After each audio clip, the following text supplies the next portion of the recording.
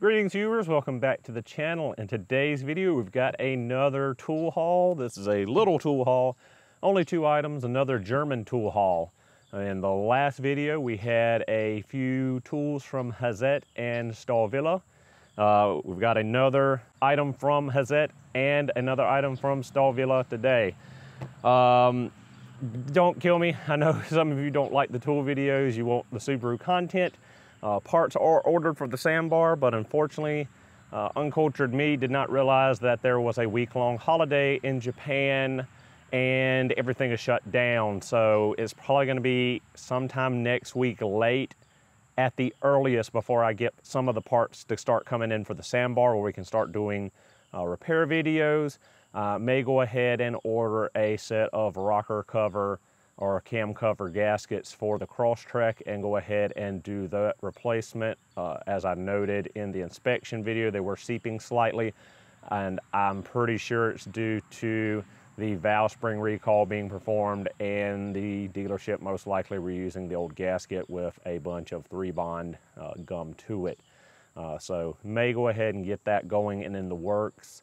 Um, I do have a few other uh, talking point Subaru videos in my head I'm kicking around. Just need to put them to film. And um, as usual, any of you that have any suggestions for videos, content you would like to see, again, you have to remember that there's some things I can't shoot. There's, you know, I've got to have particular cars to shoot videos on a particular model or vehicle, or I have to have one with an issue if you want to see a video on that issue. So it's kind of limited as to what I can shoot at any given time. But again, I compile a list and keep it with me. So if I do run into that, I can make a video on it. That aside, that out of the way. Uh, to our German tool haul. So ordered this stuff on Amazon.de, which is the German Amazon site. Uh, I believe I placed the order last Friday and this stuff arrived to me via DHL on Tuesday. So really quick shipping from Germany. Uh, if I recall correctly, though, this stuff shipped from parts uh, from Barcelona, uh, not directly out of Germany. So, without further ado, let's get into what I got. As I said, this is a small tool haul. It's only two items. Um, I do plan to buy some more stuff from Stahlwille and a couple more Hazet things, but uh, nothing too crazy from the Germans. Uh, I do prefer having the Japanese stuff. Uh, first on the list is something I thought was pretty unique and I wanted to get. Um, just because in the last video, uh, you saw that I got the little Hazet quarter inch, the 863 HP, the 92, 120 Newton meter rated uh, comfort grip ratchet. Uh, this has quickly become my favorite quarter inch ratchet, absolutely love it. Uh, I find myself grabbing it over my Stahlwille uh, Snap-on, Mac, Matco, Koken, Nepros, Facom. I can go on and on. I've got basically every manufacturer's quarter inch at this point. But uh, I really, really love this 92 Hazet. Um, it's just a great little ratchet. So uh, I saw that the, um, I'm not sure how they pronounce it as H-I-P-E-R. I don't know if it's hyper or hipper, but it's for high performance. Uh, it's their 92 high tooth count, you know, quote unquote, extra professional range that they just came out with, I believe, in 2018, which was Hazet's 150th anniversary. Um, I might be incorrect on some of the dates and stuff. Sorry, but I'm pretty sure that's what I remember going off of memory here. Uh, so this is the 916 HPLG. This is their half inch version 90 tooth as well, but this is an extendable ratchet. It goes from 414 millimeters to 614 millimeters, and if I recall correctly offhand, I believe that's 16 some odd inches to 24.1 inches. Um, the astounding thing about this ratchet um, is that it is rated for 1,000 Newton meters of braking force. That is 737 foot-pounds of torque. As far as I recall from training, I don't think our snap-on half inches are rated for that kind of power, and I really doubt Mac or Matcos are either. Um, this is an extendable ratchet, as I said, and I've always thought that extendable ratchets were pretty hokey in the past. Uh, I used to carry on my snap-on truck the Easy Red extendable, And uh, there was another one, I can't recall what manufacturer it was from though, but they always felt like a gimmicky, hokey thing. I figured if you wanted a long ratchet, buy a purpose-built long ratchet. If you want a short ratchet, buy a purpose-built short ratchet. But this thing is built like a tank. Um, I don't really, if you know me, don't like to uh, talk about German engineering when it comes to the vehicles because I'm not a fan of German vehicles and uh, they're engineered to fail parts. But uh, when it comes to tools, the Germans seem to have it figured out, especially Hazet that's now in their 152nd year of manufacturing. But uh, these things, this thing is heavy, heavy duty. You can just tell by the feel of it that it is uh, meaning some serious business. So this is the ratchet here. You've got this nice knurled collar. You twist the collar to unlock, extend the ratchet, turn the collar back to lock it in place. Now your uh, slightly long handled half inch is now an extra long half inch. Uh, really useful.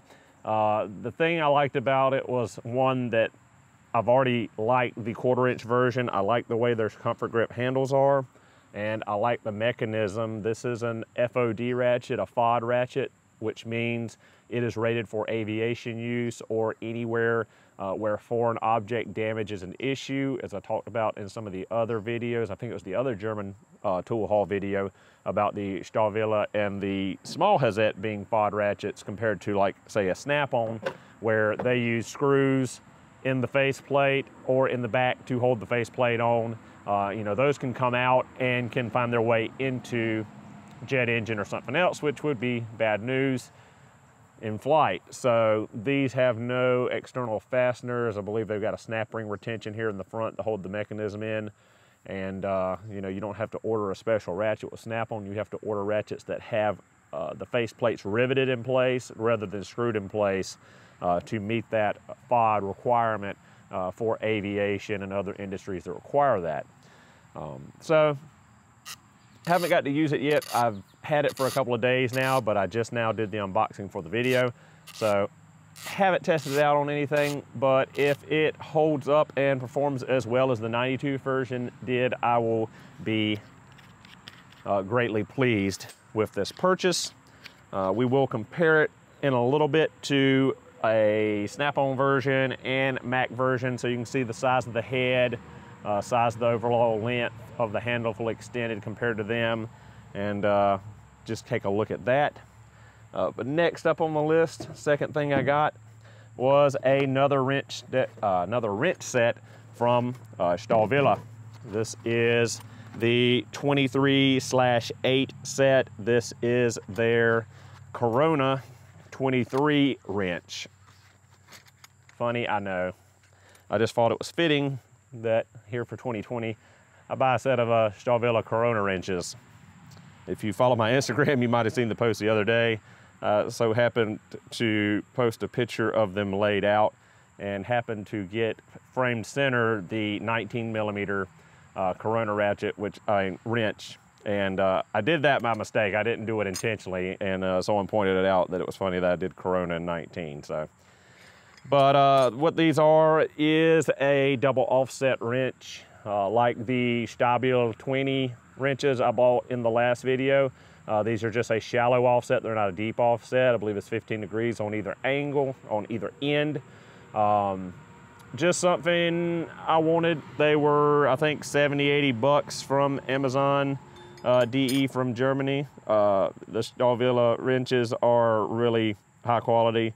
Um, I, I wasn't a fan of the matte chrome when I first got them, but the matte chrome is definitely growing on me, uh, as well as the forging marks in them and how they leave them a little bit rough and not truly uh, finished, polished, perfect like, uh, you know, Matco, Mac, or Snap-on would a wrench set. But, um, you know, this is a particular wrench I did not have in uh, Snap-on, Mac, or Matco.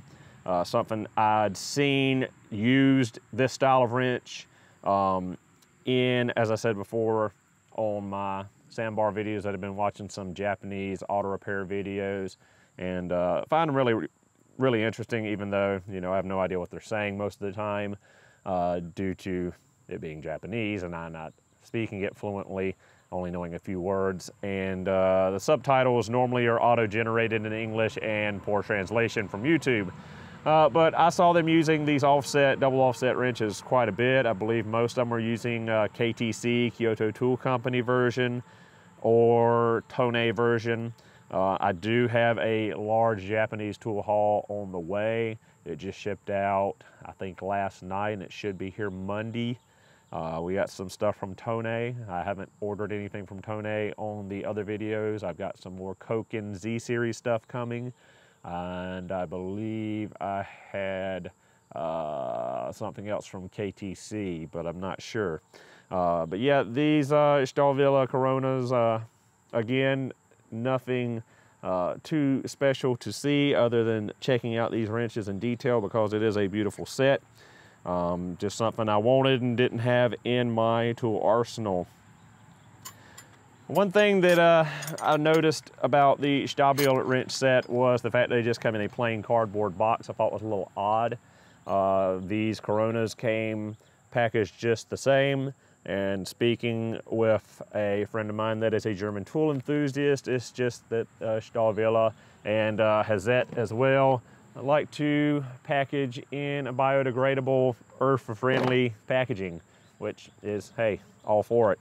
You know, cardboard is uh, plentiful and cheap, and uh, you know, I really don't need a tray to put these in. I can put them, lay them out in my drawer, and uh, you know, less plastic in the landfill, so good for Stahlwille. So that basically does it for the video. Uh, we're gonna go really quickly and show you the Snap-on and Matco uh, half inch ratchets compared to the Hazet. And uh, probably give you some beauty shots of these tools and uh, end it out there. All right guys, here we have the Hazet 916 and a Snap-on SL80A.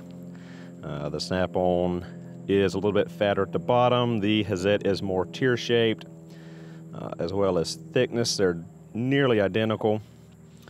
And uh, you can see at the front plate how the Hazet tapers down, more teardropped.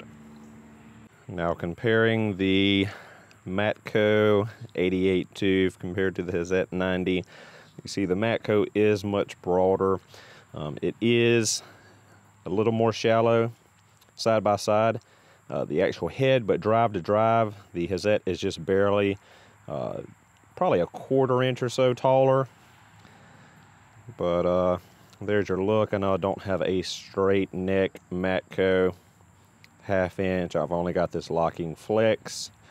Uh, so not exactly sure how much different the straight neck Matco half inch is, but I'm pretty sure it's pretty much the same mechanism.